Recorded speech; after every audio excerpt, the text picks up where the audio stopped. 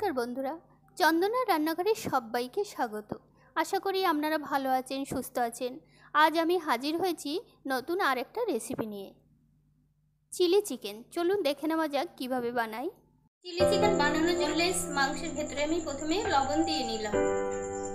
গোলমরিচের গুঁড়ো দিলাম। রসুন, আদা, একটা কাঁচা লঙ্কা পেস্ট করে নিয়েছি। এক চামচ অ্যারারুট দিলাম। এবার ময়দা দেব দু চামচ। দিয়ে এটা মেখে নেব। এর ভেতরে ভিনিগার দেবো ভিনিগার দিলাম।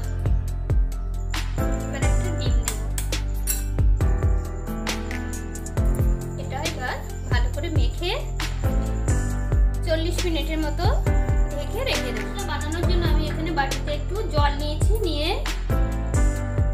কর্নফ্লাওয়ার দিলাম।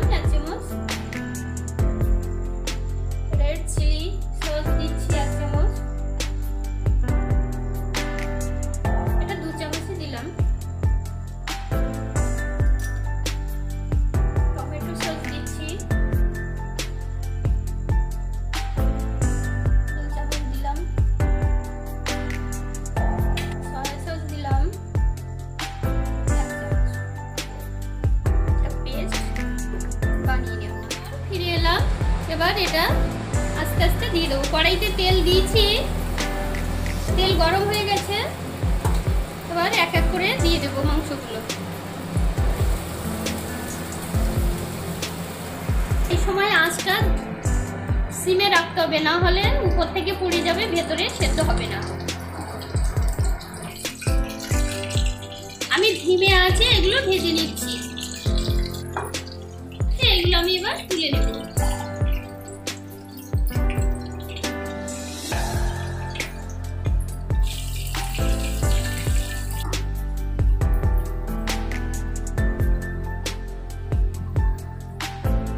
অল্প তেল রেখেছি, মাংস ভাজা তেলের মধ্যে আমি পেঁয়াজ দিয়ে দিলাম।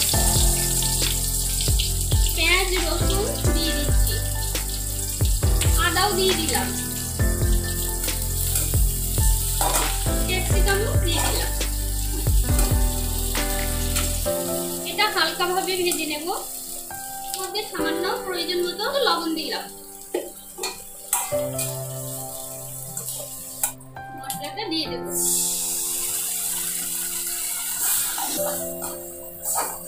এর মধ্যে বাটি ধোয়া জলটা দিয়ে দিলাম।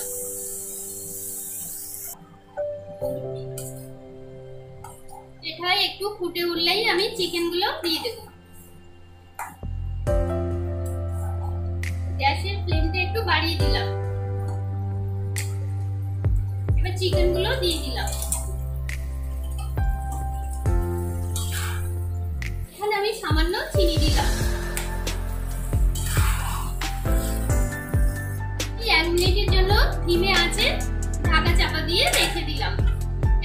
পরে ফিরে এলাম।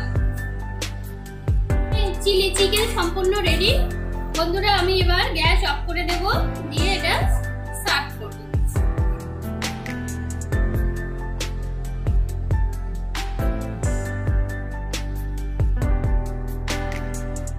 বন্ধুরা, আমার চিলি চিকেন পুরোই রেডি এটা রুটি, লুচি, নানপুরি, পরোটার সঙ্গে খুবই ভালো লাগবে।